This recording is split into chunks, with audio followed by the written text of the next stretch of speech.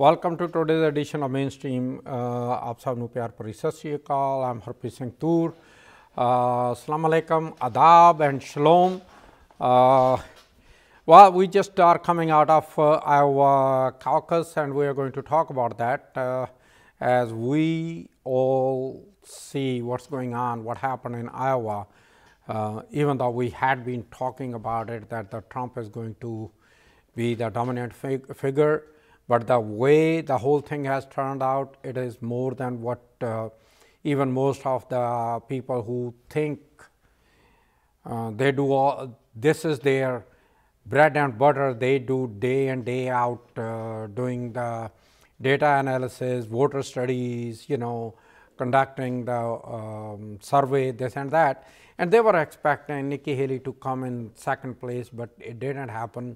She came into third place by a couple of hundred votes uh, from um, uh, Ron DeSantis. But the question again is out of 99 counties in, uh, in Iowa, Trump took 98 out of them, and one county went to Nikki Haley. And Ron DeSantis, even though he came in second, but he did not win any county in the there. And now fast forward to New Hampshire where the primary will be next uh, this coming Tuesday. The question will be how this whole uh, process is going to evolve, how this uh, um, upcoming New Hampshire primary uh, may throw up Nikki Haley, which is being looked at as one of the possibility because John Sununu, who is very uh, popular uh, governor there, he has endorsed Nikki Haley. And interestingly, the issue here is that whatever Trump is saying, he has become a cult figure in this country, for Republicans in particular. And uh, even those Republicans who are, you know, who don't like what he is doing, they are accepting him uh, like they say, you know, they have already surrendered that, okay, you know, we don't have a choice, but we do not want to vote for a Democrat. And nobody actually is looking at the bigger picture of what is going to happen, what would happen, where we are, where we may end up uh, actually uh, you know, um, down the road as America as a country what could happen to America as a country. Nobody is really looking at it because the issue again is uh, um, what we call that how um, the word politics actually is um, playing uh, I'm just uh, trying to get my laptop also work. Uh, I was looking for a few things in there. So sorry if I'm not looking at the camera right now. It doesn't mean I'm ignoring you. So as of today, what is happening in the world politics is crazy, if I may say so in layman's term, because we have these pockets of fights going on, which may actually uh, end up being more than one war we first had, um, uh, you know, the civil war in uh, Yemen. We have Somalia going on a civil war for years, and nobody was paying attention to that, uh, to those wars too much. Then Ukraine happened, and because of the war in Ukraine, all of a sudden the inflation went up because uh, the majority of the wheat and sunflower comes from uh, Ukraine.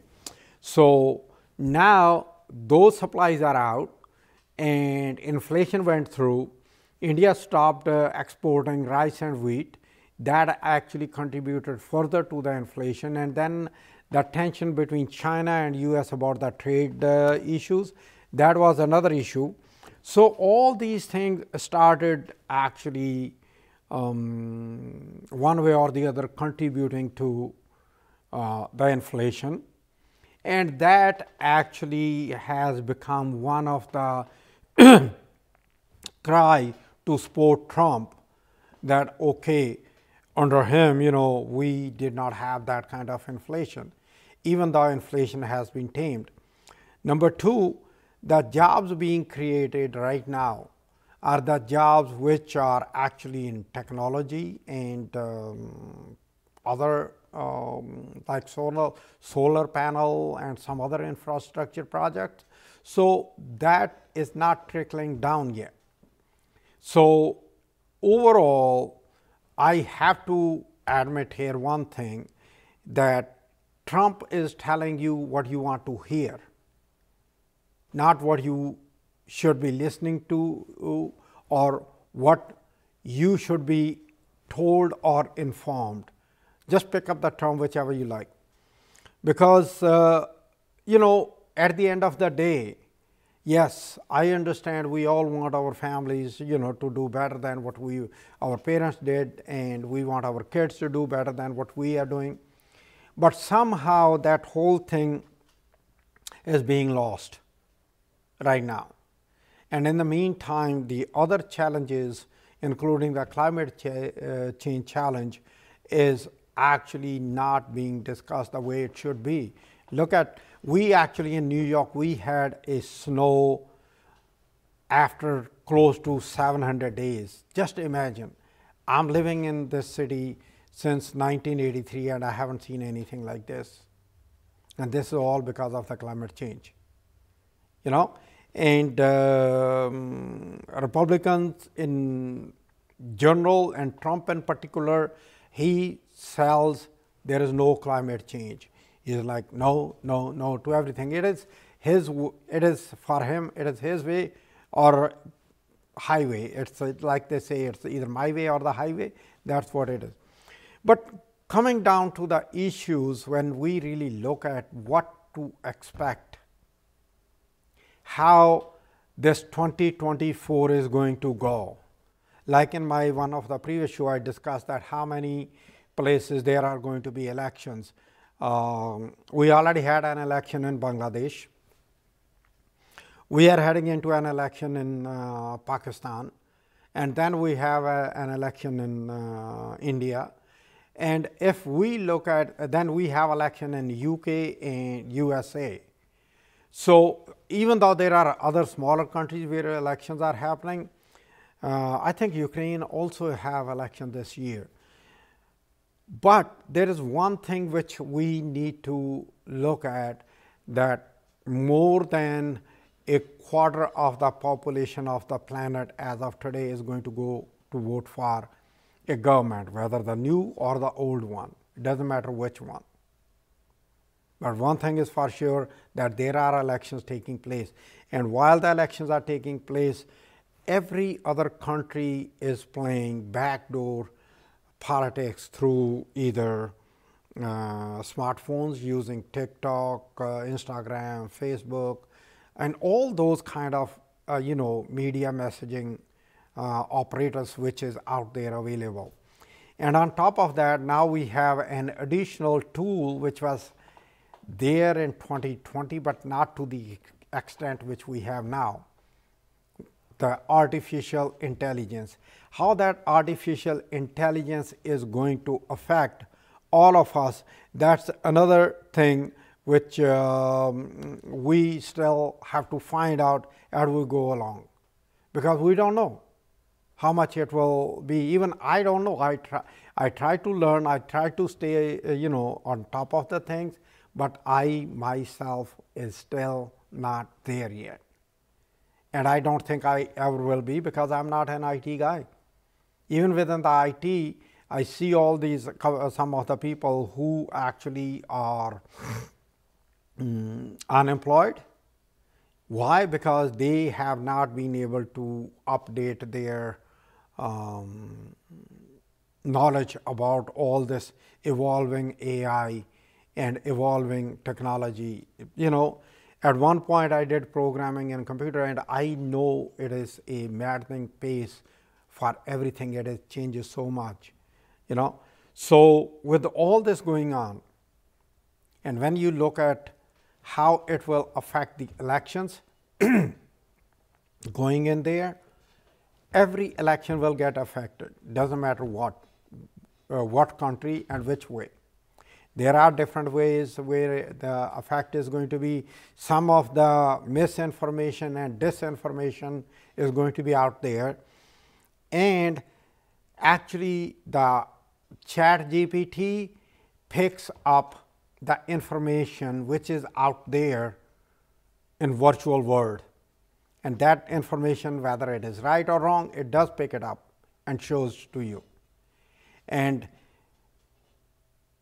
most importantly another most important aspect is the algorithm being written and monitored and you know used by all these uh, uh, tech companies they actually feed you what you're looking for so if you for example, I will give you a perfect example. You on your smartphone, you Google some store, any store, you know, you are doing some shopping and you Google Bloomingdale, Macy's or Nordstrom or J. Crew, whatever your uh, favorite uh, group is, Saks Fifth Avenue.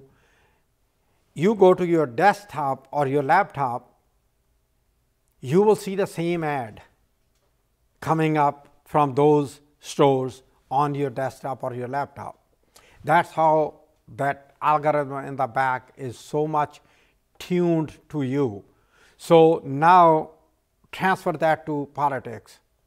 If you are looking at a candidate from that perspective, they will feed you what you want to hear, not what you should be hearing, not what you need to know, but what they want you to assume and they want you to know. And this is where, you know, that it comes back to me again and again that alternate facts, alternate truth. This is what they were talking about, what the alternate truth is. There is, there are, there is only one truth. There is no alternate truth. And this is where that scary alternate truth is becoming a part of uh, everyday life and what we discuss, what we talk about, what we uh, you know uh, make the decisions based on and that is something which is literally um, scary. You know, as we go further and further, honestly, in next um, by the time we are in 2024, by 2030, I have no idea where we will be when it comes down to the technology.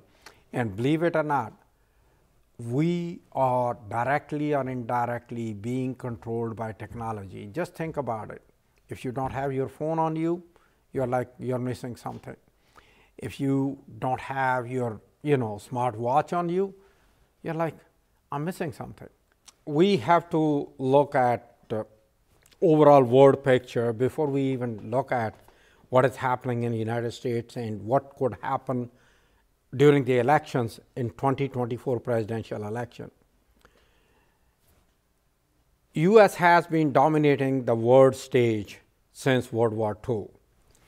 And, uh, you know, as we are closing down to close to 100 year of uh, a superpower dominating, China is challenging US. Russia was challenging till Russia was dismantled as a USSR got dismantled and uh, we got Russia. And some of the other states which were part of USSR, they started their own independent, uh, uh, you know, way to go forward. Some of them joined the NATO, some of them are, even though they are part of uh, Russian uh, hemisphere or influence, but they moved beyond that also. Now, China actually is exerting its own, its own pressure. Now, to counter China, uh, India is being boosted by America. Okay. The industri- industrialists, the businesses, they have their interest to how to make maximum money.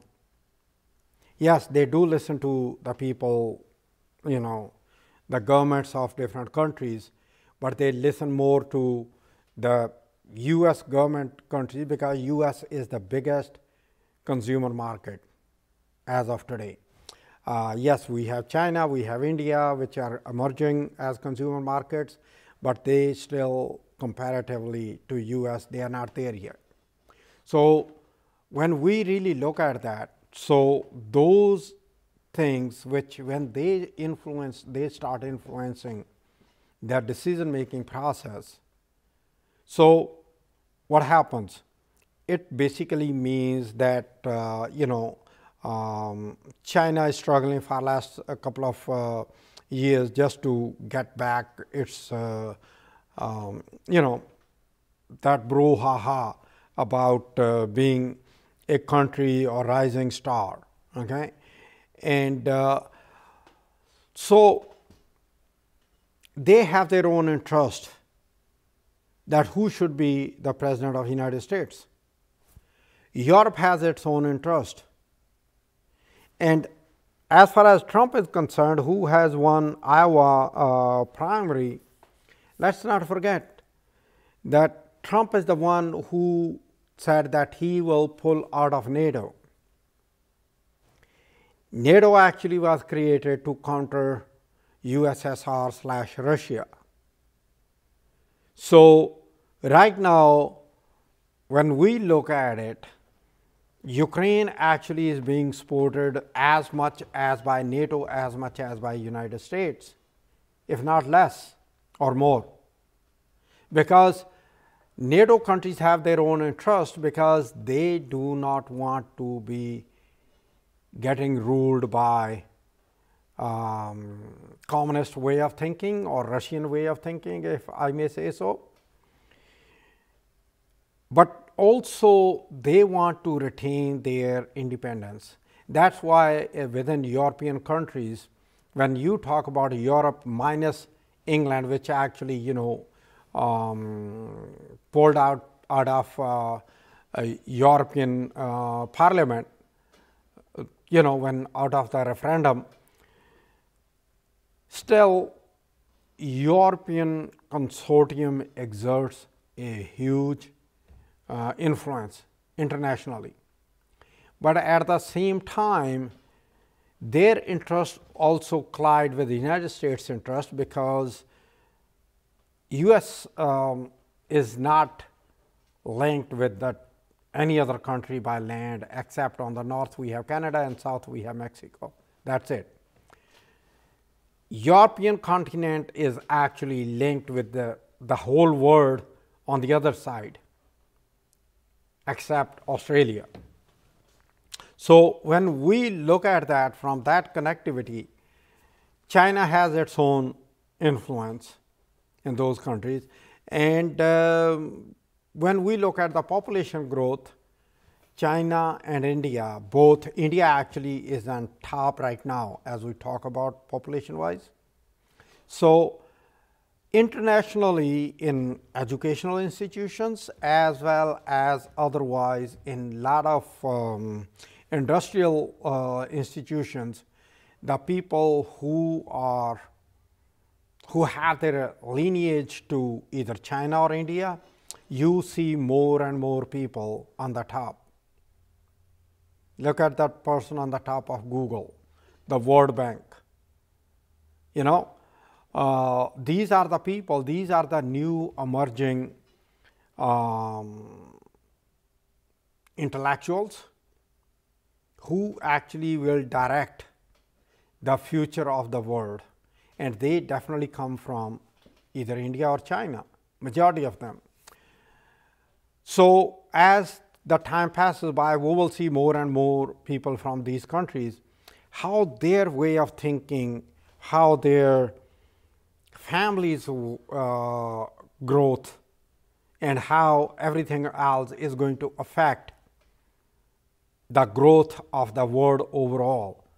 You know, the biggest uh, mm, threat in international trading is from China using AI as well as cloning techniques to clone, you know, China was the first one to uh, use one of the technique which is known as CRISPR uh, to clone uh, an animal.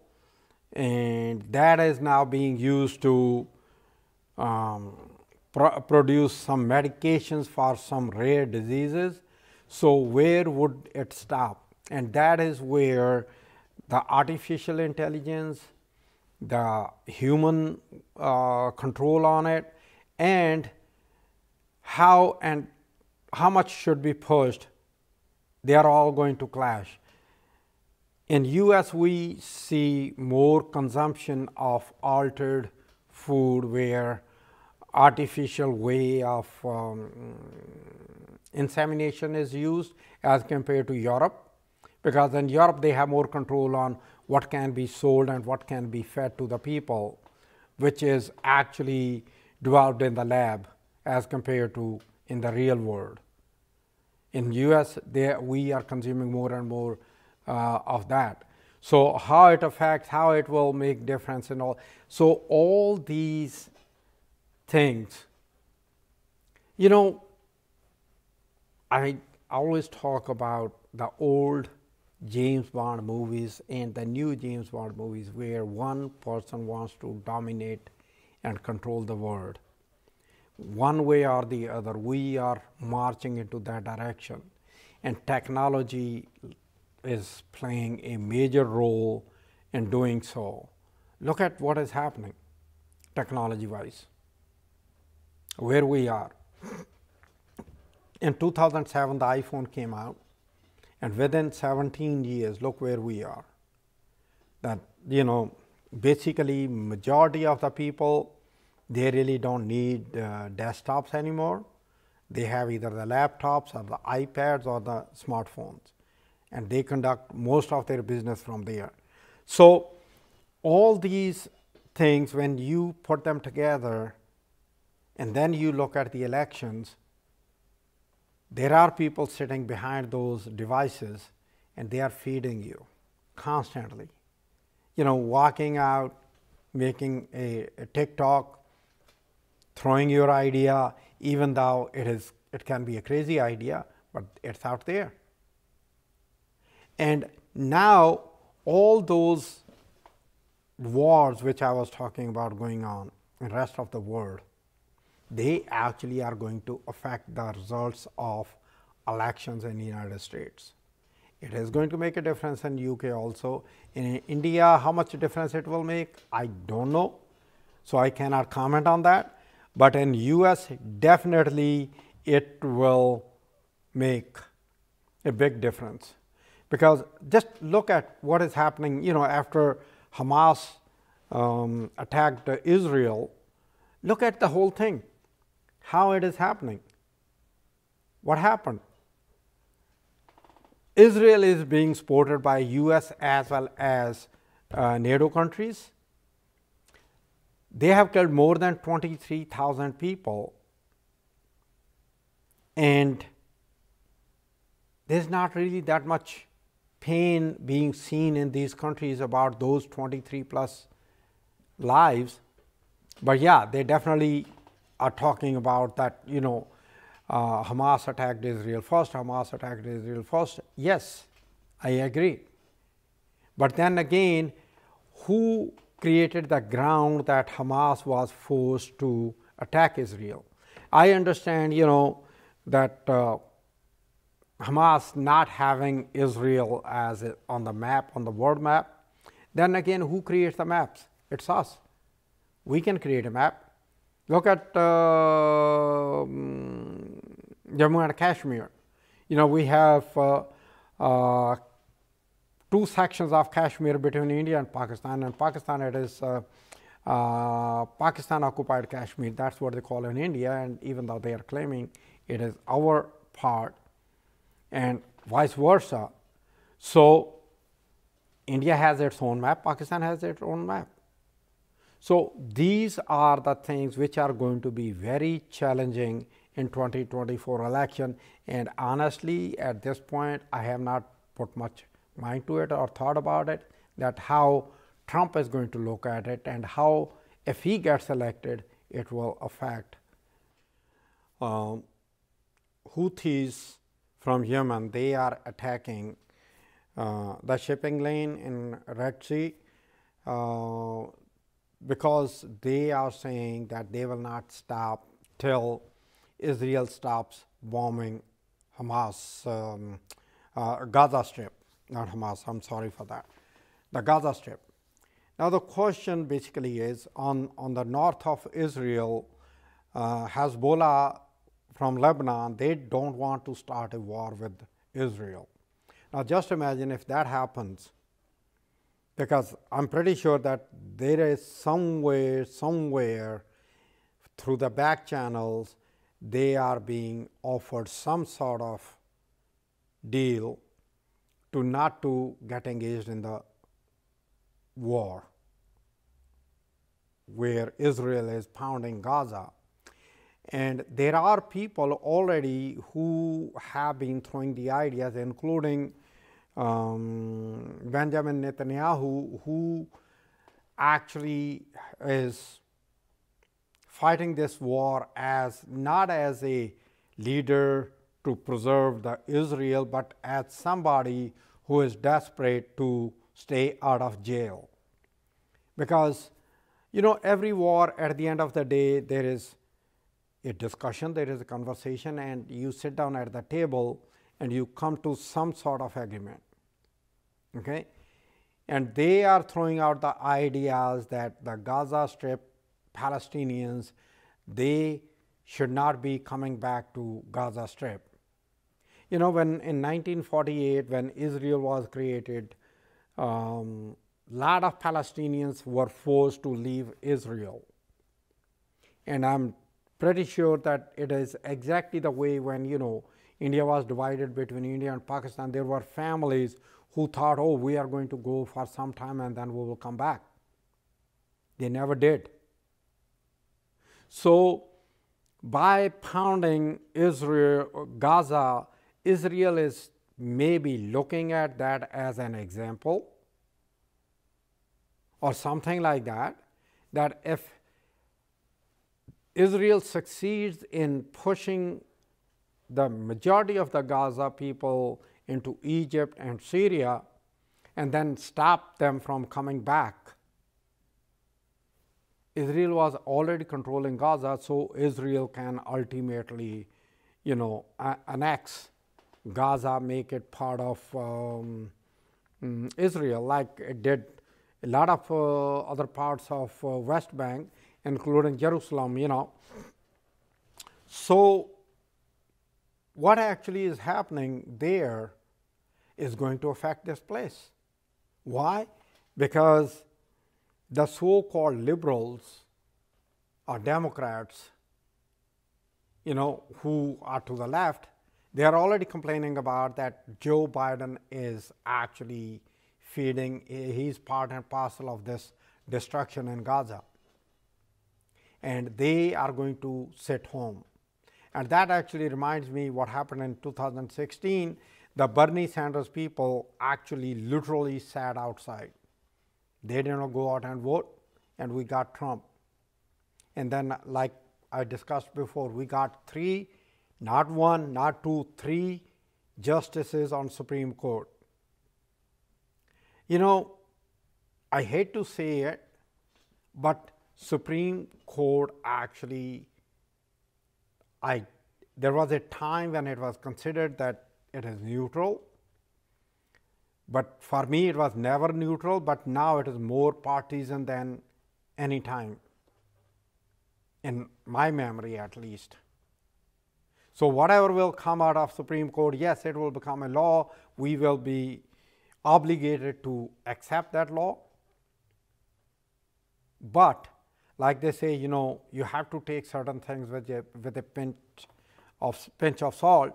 That's how those decisions are going to be. So, you know, when Houthis are attacking those um, uh, on those shipping lanes and US is attacking Yemen, nobody is looking at it that there was a civil war in Yemen going on for years. On the one hand, it was Houthis supported by like they say, by Iran, and on the other side was the person and the group which was actually supported by Saudi Arabia, backdoor US. So now by bombing those uh, locations in uh, Houthi in Yemen, US is doing it openly. Yeah, of course it is like, you know, that we want to keep the channels open, which means what? Again, it is a cycle of destruction which is going on right now and there are not that many voices who are talking about sanity that let us wait, let us sit down, let us see, let us think about what's going on, let us put up a break. No, nobody is looking at it. Not which I see, there may be some activities going on in the back door, but at the same time, those activities are not to the scale where these wars can and should be stopped. And if they are not stopped, they, the escalation in these wars is imminent. And then, yes, you know, um, we have uh, very tense relations going on with China uh, as of U.S. and we should not forget that doesn't matter how much U.S. tries, China, you are always strong in your back door. U.S. has to travel thousands of miles for everything. China does not. So, there is only so much U.S. can do, and that's why uh, the investment in India to spur Indian economy and make it strong enough against China. And China actually is inching more and more to the territories which is from India and Bhutan. I was actually reading today again that it is, you know, taking more property which belonged to the royal family of Bhutan at point. So, on the ground, I don't know, I have not been on the ground, but I am pretty sure that when these reports come out, there is always some facts to it. So, where would this whole thing end up going? Macron, the French president, actually is meeting Zelensky, and they are also going to try to work out some sort of agreement to support Ukraine. You know, right now we have economic forum going on in uh, Davos and the statement given by Zelensky over there is being actually looked at that he is open to some sort of discussion to create some buffer zone between Russia and Ukraine on that territory which is right now being fought for by both Ukraine wants to recapture it and Russia already has captured.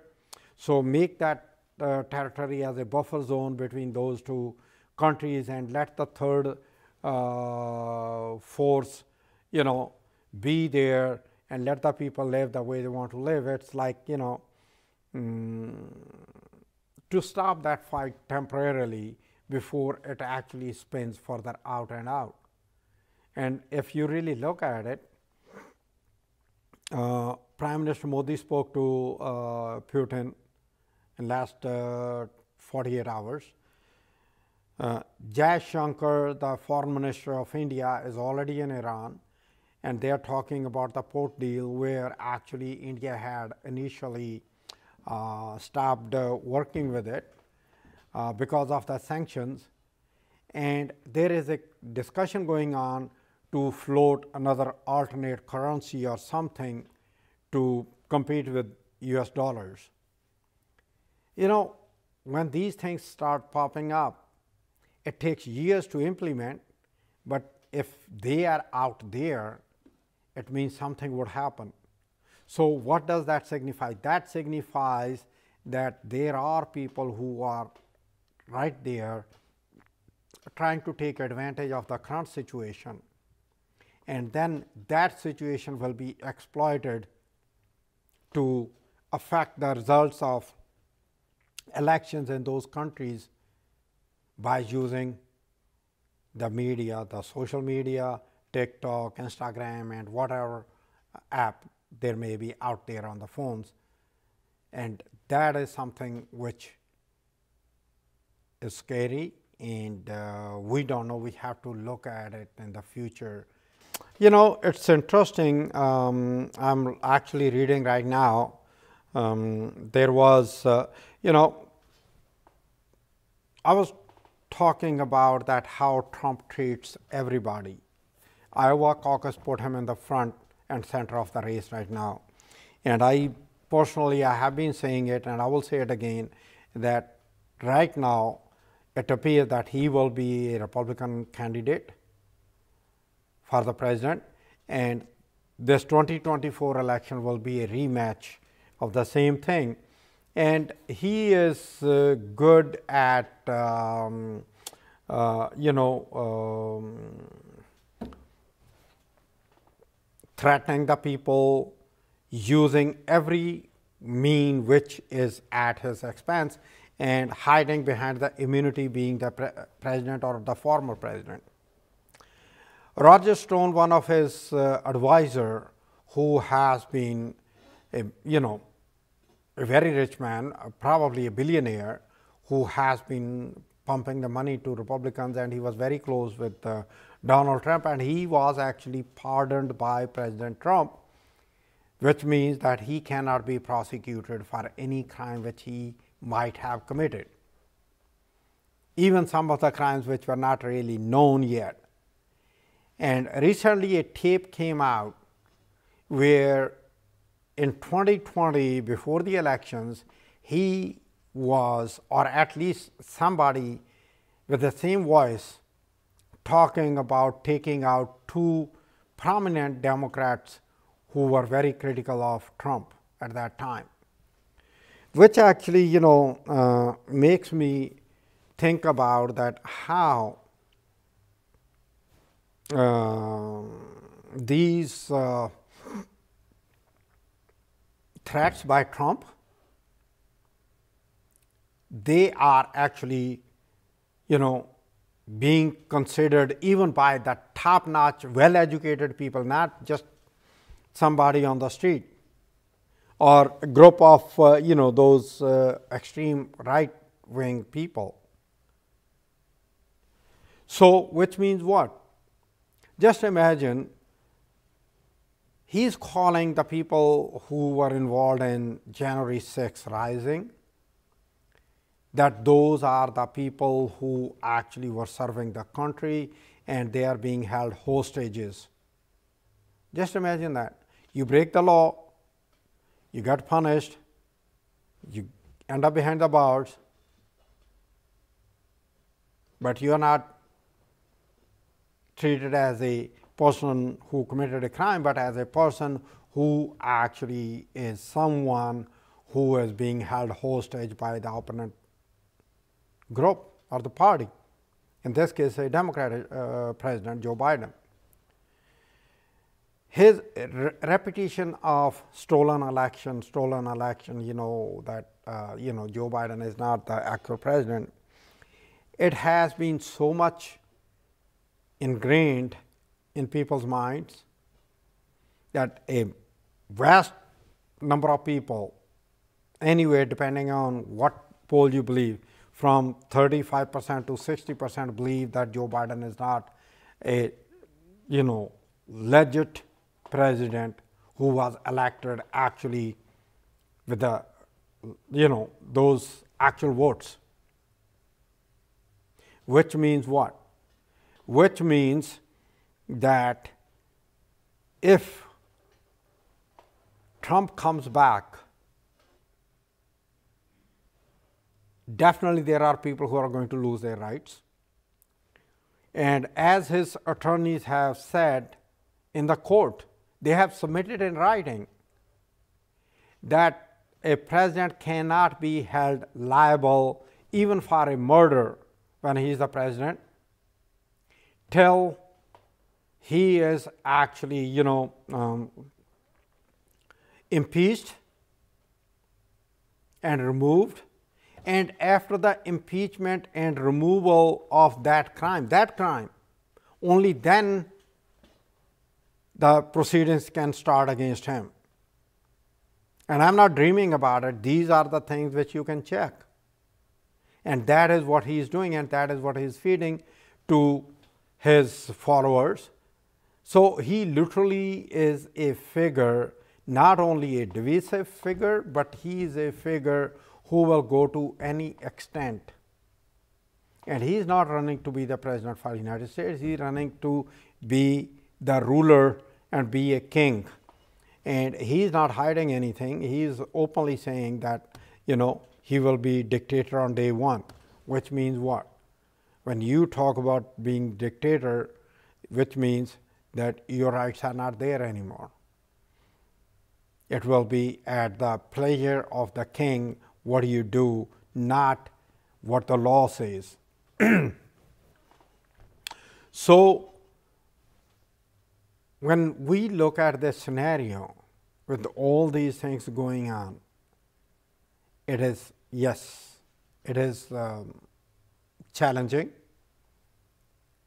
but at the same time, we should not be giving up any hope. Let me add here what a democratic process is and who is responsible for that you and I individually, we are responsible to have that democratic process on the rails. I don't mind which group you believe in, what your beliefs are, who you follow, who you want to vote for, but you must, you must go out and vote, whosoever, whatever you choose because that is how democracies are preserved, not by sitting at home, but by going out and literally voting on whatever you believe in and uh,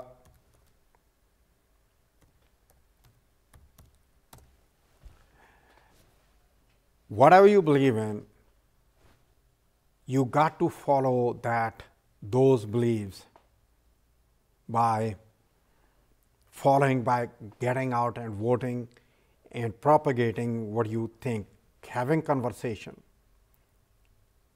discussing. By cutting yourself from a conversation is not going to help anyone at all. You know,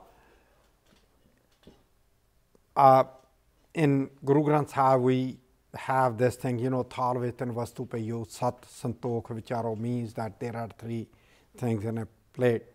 You know, Sat, the truth, Santokh, to have patience, Vicharo, to discuss. So that is something which we need to do. And if we don't do that, then we are not being a human being the way we should be, if I may say so. It means that we are just being um, like anybody else, regular, uh, where we just uh, have our own uh, um, personal agendas, and that's it. I do understand that we want a better future for the kids. We want a better future for everybody. We want a better world, we want a better US. But to achieve that, we have to follow certain things. Just look at where we are as a country uh, today. Yes, if we leave out the divisions which we have in the society right now and look at overall where US stands technologically, it is still way, way ahead of our other, other countries. And there is a reason for that. The reason was basically because of freedoms which are guaranteed by the Constitution, the freedom of thought, the freedom of speech, the conversations freedom. And right now, those freedoms are coming under attack by both left and right wing people. I'm not saying that only one group is doing, both are doing it. And institutions, the educational institutions are actually cutting back on those freedoms. Just imagine that today it is one freedom which is being taken away, tomorrow it will be one more, day after tomorrow it will be another one. Where would you end? And that is what under the dictatorship happens that your rights are taken away one at a time. And by the time those rights are taken away and the person who is at the top ends doing that, you are just a mere number which can be killed or put behind the bars without any repercussions or anything. We just need to look at some of the countries where the dictators killed more than 50, 60,000 people, 100,000 people. And at the end of the day, general public paid the price. It is you and I who may end up paying the price. That is what, what I'm afraid of. And that's why what I talk about, even though I put the pieces, try to put the pieces together by grabbing from different things, but at the end of the show, I want to make understand from my perspective where I'm coming from that for us, how important that today's decision can be to have the future of our kids a better future than what we have right now. With that note, till next time, good night and good luck.